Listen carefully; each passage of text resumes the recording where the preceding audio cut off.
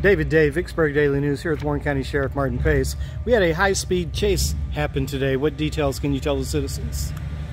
Well, it started out uh, just after 3 o'clock. Uh, Vicksburg Warren 911 received uh, several calls of a small maroon vehicle driving at an extremely high rate of speed and very recklessly on Highway 27. Uh, the vehicle then turned west on Clay Street uh, 911 uh, had multiple calls from citizens uh, reporting the same thing on Clay Street, very high rate of speed, in and out of traffic, deliberately driving on the wrong side of the road. Uh, the vehicle apparently turned uh, back on the interstate for a period of time and got on 61 North. As it came back south on 61 North, it, in, it was meeting multiple vehicles and in the wrong lane of traffic. It was deliberately traveling south in the northbound lane. Uh, one of those vehicles was Jerry Briggs, our county fire coordinator, in his fire chief's vehicle. Uh, shortly after that, uh, Warren County Deputy uh, Patrick Brown uh, engaged this individual uh, just north of Warren Central with lights and siren on, and the individual veered over into Deputy Brown's lane. He had to leave the road to avoid a head-on collision several other deputies became involved and at one point completely uh, lost the vehicle uh, at, at, the rate of speed that he was going.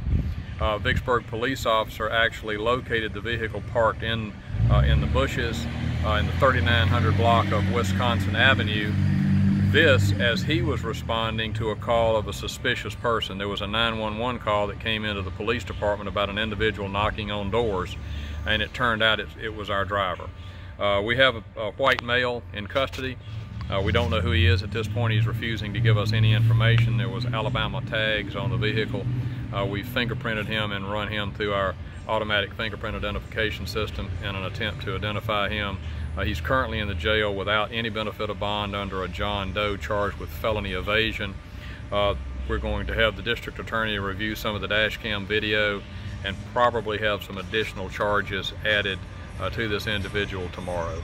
Uh, we also noted that he had significant damage to the front of his vehicle, but we've received no reports. Uh, 911 has not received any reports of a hit and run accident involving this vehicle. So uh, we're not sure what he hit or where prior to uh, engaging with law enforcement.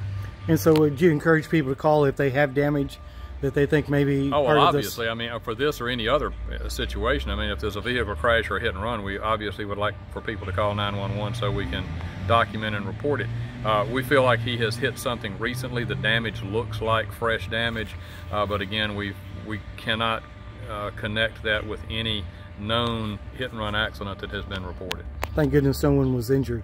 No one was injured. The uh, the public uh, uh, you know, was, was very good about reporting this individual. We were getting a play-by-play -play from 911 calls prior to uh, law enforcement uh, engaging this individual. But he very, very dangerous, apparently intentionally endangering uh, the public, but uh, he's in the Warren County Jail at this time. Very good.